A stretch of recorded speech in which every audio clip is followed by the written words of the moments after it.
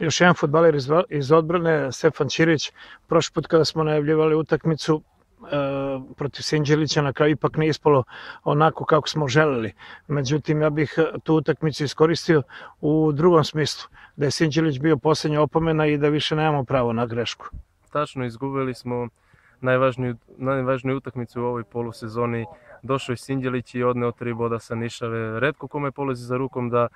da dobije ovde u Pirotu, eto njima se posrećilo, nije bio naš dan, ja sam u razgovoru s vama pre utakmice pomenuo da moramo da odigramo najbolju utakmicu do sada, međutim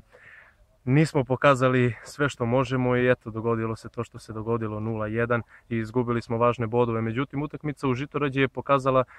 sa novim šefom stručnog štaba Miletom Tomićem da smo se malo podigli, da smo da kažem lako preboleli taj poraz i brzo, zaboravili smo ga u roku od tri dana i doneli veliki bod iz Žitorađe koji nam daje za pravo da ovde u nedelju Hajduk Veljka možemo da dobijemo i da, da osvajamo što više bodova do kraja polosezone. Neću naravno da upoređujem trenere, ali e, želim da uporedim atmosferu, odnosno očekujemo tebe e, jedan utisak o tome e,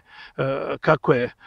sad na trenizima i u kojoj meri sve ovo što sada događa jača vas i pojedinačno i kao tim.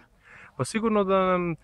nije lako palo to što je Stojanovski smenjen, ipak navikli smo sa njim, radimo s njim još od marta prošle sezone. Eto, nije lako kada dođe novi šef stručnog štaba u polusezoni, kada su utakmice u toku, naviknete se na jednog, onda dođe drugi, ali smo se brzo uklopili, mislim da je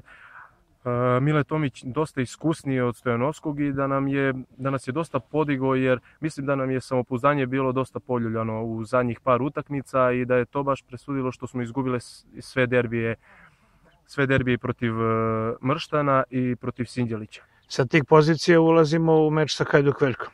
Naravno da mi smo trenutno šesti ili sedmi na tabeli, međutim razlika nije velika, Sinđelić nam beži 10 bodova, ali to se stiže, ja ponavljam, ako dobijemo ovde, onda nam dolazi serija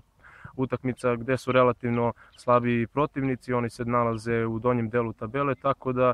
gostovanje nam je sledeće u Bivolju, onda nam dolazi Despotovac, to moramo da dobijemo kako bi održali tih 10 bodova, ali mislim da će Sinđelić da već ispusti negde bodove, jer ne mogu oni sve da dobiju ipak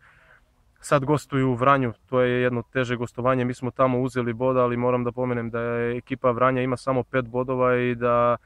je i kod njih, kod njih već vlada panika, počinje borba za opstanak, tako da ne verujem da može Sinđelić lako da odnese bodovi iz Vranja. Dakle, e, prvo treba dobiti Hajduk Veljko. Naravno, prvo treba u nedelju dobiti Hajduk Veljko, utakmica se igra od 15 časova, ja pozivam navijače da dođu da nas podrže sad kad nam je stvarno najteže.